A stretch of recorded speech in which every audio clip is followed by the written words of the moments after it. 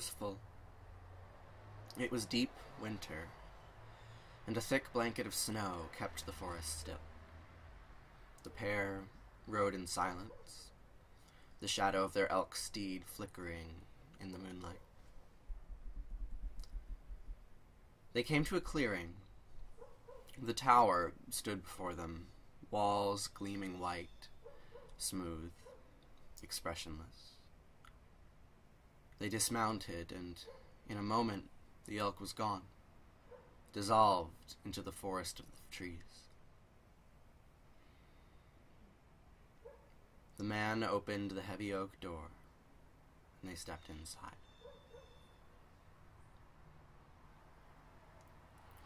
Within was a long spiral staircase weaving its way up the tower walls. They began to climb. To keep from tripping, she gathered her long riding cloak into tightly clenched fists. The stairs were steep, monotonous. A single golden chain hung from above, a green vine growing around it. They said nothing as they rose. At the top was a cluttered room. Table covered in dry herbs, bottles, manuscripts, vials, powders. Deer skulls hung from the ceiling, insects crowded in jars. In one corner, a dusty bookshelf, in the other, a hearth and bellows. The man reached into his robe and emerged with a gray white mushroom, one end still gently smoking. From another fold came a ball of fine fiber. He placed both in the hearth and began to blow softly. Flames began licking. She watched intensely. It was some time before the fire was hot enough to begin.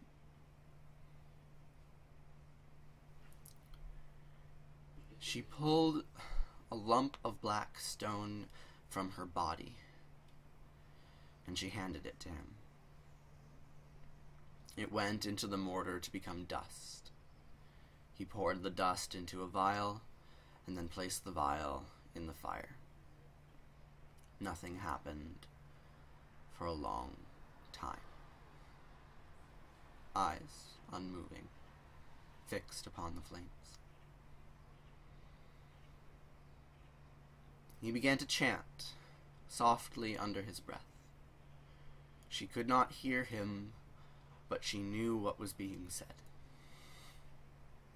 Shema Yisrael Hashem Eloheinu Hashem Echad ואהבת את אין סוף אלוהיך ובכל לבבך ובכל נפשך ובכל מאודיך וחיו הדברים האלה אשר אנוכי מצווך היום על לבביך ושיננתם לבניך ודיברת בם בשבתך בביתך ובלכתך בדרך ובשכבך ובקומך וקשרתם לאות על ידיך והיו לטוטפות בין עיניך וכתבתם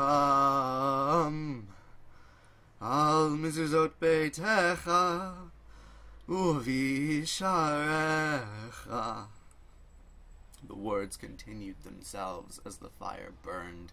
They hung in the air, almost physical in their repetition. They covered themselves with themselves, filled the empty space with sound. Still, eyes unmoving, fixed within the flames.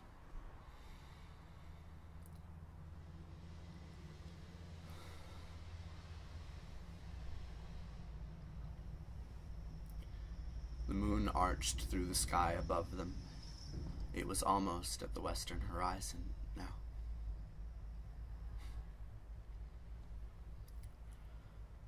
Something shifted. The black dust in the vial began to glow yellow, then white. Then it clarified.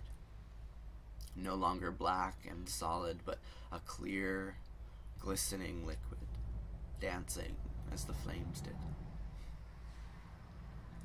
He reached into the fire and pulled out the vial, and they walked to the open window and watched silently as the moon dropped behind the mountains.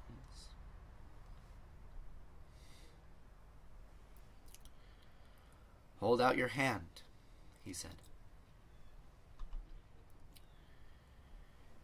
He poured the vial into her open palm. The liquid fell like a spear, piercing with its heat. Her flesh burned, but it was not consumed. Instead, what formed was a perfectly clear, round sphere.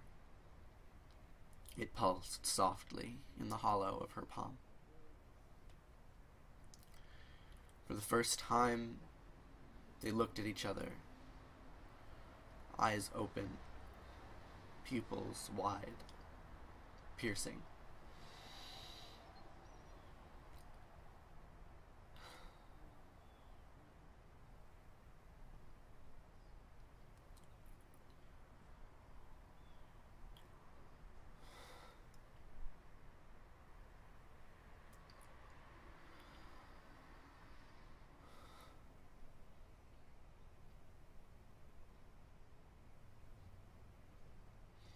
They stayed like this.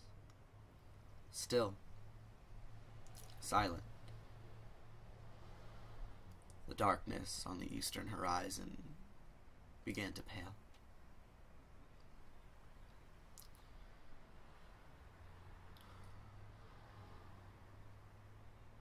Eventually, I love you, he said. More silence. Then, what is love? Was her response. He pushed her. She fell, silently screaming, a cloak billowing around her like wings. And then it dropped away. What remained in the air was a glowing owl, white wings beating against the fading darkness a crystal sphere glittering in its talons, reflecting the first rays of dawn. A single hoot, and she was gone, dissolved into the darkness of the forest.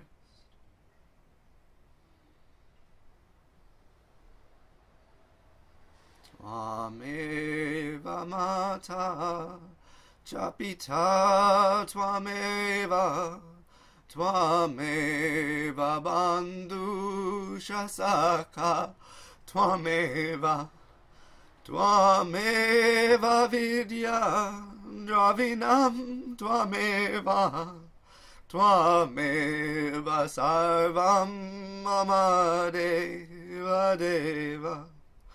Kayena vacha manasendriyarva buddhyad manava prakrite sabhavat karomi adyad sakalam parasmahe narayana iti sarmar payami Twameva mata, Chapita Twameva, Twameva Bandhu Shasaka Twameva, Twameva Vidya, Dravinam Twameva, Twameva Sarvam Mama Deva Deva.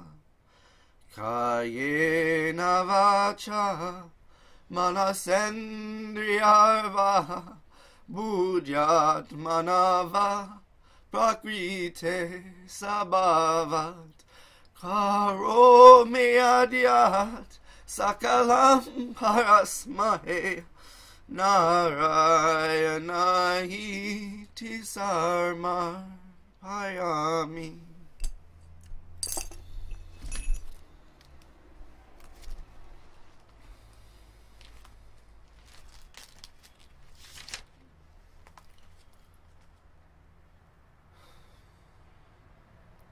whatever actions I perform with my body, speech, mind, senses, intellect, my nature, or my emotions, all these, all these, I dedicate to you.